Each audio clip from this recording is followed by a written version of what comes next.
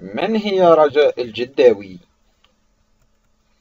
الممثلة المصرية القديرة رجاء الجداوي واحدة من قامات الفن المصري والتي شهدت تطور الفن والدراما المصرية عبر مختلف مراحلها حيث تجاوزت الأعمال التي شاركت بها الثلاثمائة عمل على مدار مسيرتها بدأت التمثيل في سنة 1958 تربت في وسط فني إلى جانب خالتها تحية كاريوكا فكانت بداياتها مع عرض الأزياء ومن ثم التمثيل على مسرحية تحية كاريوكا لتنتقل لتقديم المزيد من أعمال السينما والدراما التلفزيونية. تعرف على السيرة الذاتية الإنجازات وال...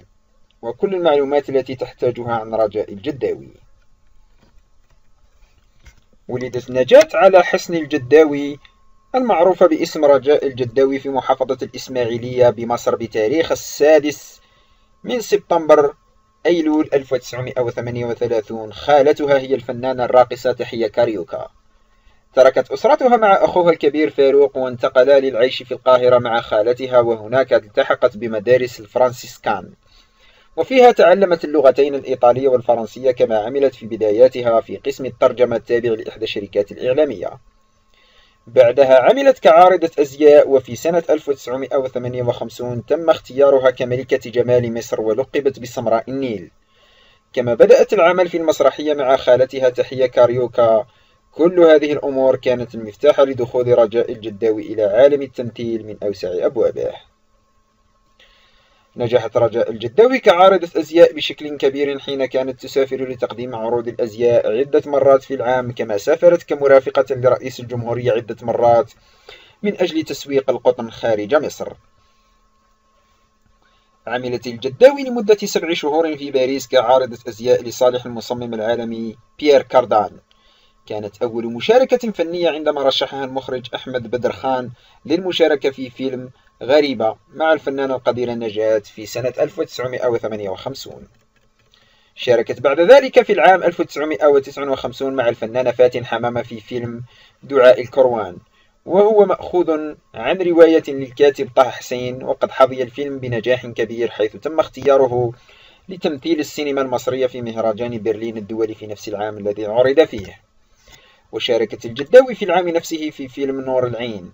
عقب فيلم دعاء الكروان ظهرت الجداوي سنة 1960 في فيلم الكوميديا إشاعة حب مع الفنانة الراحلة سعاد حسني والفنانة هند رستم والفنان عمرو الشريف. هذا وقد ساعدت لكنتها الفرنسية في ترشيحها من قبل المخرجين لأداء الأدوار الأرستقراطية لكن سفرها الدائم بسبب عروض الأزياء كان يتضارب مع عملها في التمثيل لذلك غالبا ما كانت تسند لها الأدوار الثانوية. ظهر ظهرت رجاء الجداوي في فترة الستينيات في العديد من الأعمال وكان من أهمها فيلم مخلب القط وفيلم الضوء الخافت وفيلم الفرسان الثلاثة وفيلم القاهرة في الليل وفيلم معسكر البنات وفيلم بابا عايز كده وفيلم كرامة زوجي وفيلم أيام الحب. كما كانت مرحلة السبعينيات حافلة بالأعمال التي شاركت فيها رجاء وكان من أبرزها فيلم أصعب جواز وفيلم زائر الفجر وفيلم على ورق السيلوفان وفيلم أزواج طائشون وفيلم لا تبكي يا حبيب العمر وغيرها من الأفلام. وعلى الشاشة الصغيرة ظهرت هذه الفترة في عدد من المسلسلات ومنها مسلسل القاهرة والناس ومسلسل أرض النفاق ومسلسل الهروب ومسلسل أحلام الفتى الطائر ومسلسل لحظة اختيار كما شاركت في المسلسل الإذاعي البراري والحامول.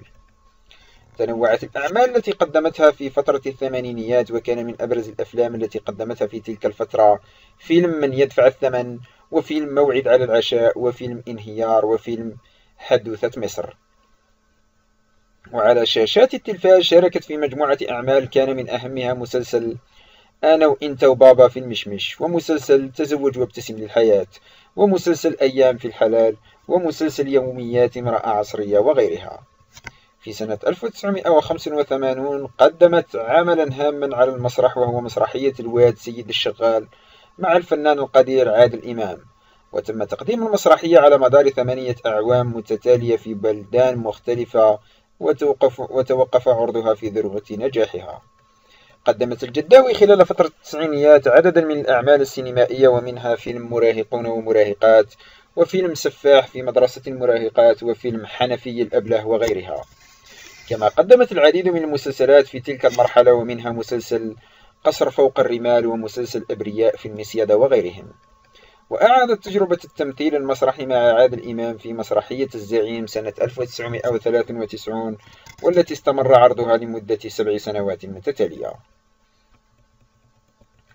خلال العشر سنوات بين سنتي 2000 و 2010 قدمت الجداوي مجموعة من الأعمال الضخمة والمتنوعة وكان من بين الأفلام التي شاركت بها فيلم تيمور وشفيقة وفيلم أنت عمري وفيلم بدون رقابة وفيلم التجربة الدنماركية وفيلم سهر الليالي وفيلم السلم والثعبان وفيلم ليه خليتني أحبك وغيرها. أما المسلسلات فكان من فكان منها مسلسل عائلة الحاج متولي ومسلسل عباس الأبيض في اليوم الأسود ومسلسل بشرى سارة ومسلسل حق مشروع ومسلسل أحلام نبيلة وغيرها.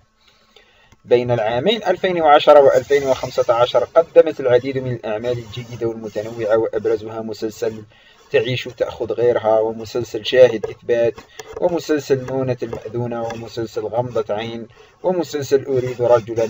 ومن الأفلام التي ظهرت فيها في تلك الفترة فيلم الثلاثة يشتغلونها وفيلم كلبي ومفتاحه وفيلم بنات العم وفيلم هاتولي راجل وفيلم المواطن برس وغيرها العديد من الأعمال. شاركت بعد ذلك في أعمال كثيرة ومنها مسلسل جراند أوتيل في سنة 2016 ومسلسل حلاوة الدنيا في 2014 لم تشارك في أعمال رمضانية في العام 2019 وكان من المفترض أن تشارك في عملين يعرضان خلال الموسم الرمضاني ولكنهما توقفا لأسباب لم تصرح عنها وقدمت مسلسل شبرمية في نفس العام ولكن عرض خارج موسم رمضان. تزوجت رجاء الجداوي من حارس مرمى النادي الإسماعيلي ومنتخب مصر الراحل حسن مختار في العام 1970 أنجبت منه ابنة وحيدة اسمها أميرة. اكتسبت رجاء الجداوي اسم رجاء عند دخولها المدرسة ونفت أن يكون اسمها الفني. صرحت أن أصولها تعود إلى مدينة ينبع غرب المملكة العربية السعودية فقد هاجر جدها الثاني إلى مصر واستقر فيها.